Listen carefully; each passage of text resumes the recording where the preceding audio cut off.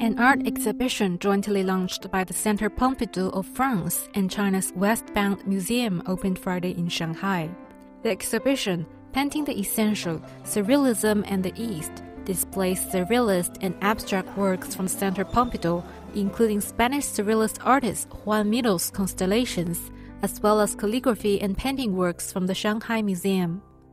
这次其实是超现实主义作为一个题材单独拿出来，跟东方文化做整个的对比交流这样的一个展览。这样我觉得为公众可以更好的理解现当代艺术发展的整个的脉络和思路，提供了一个一种平台吧。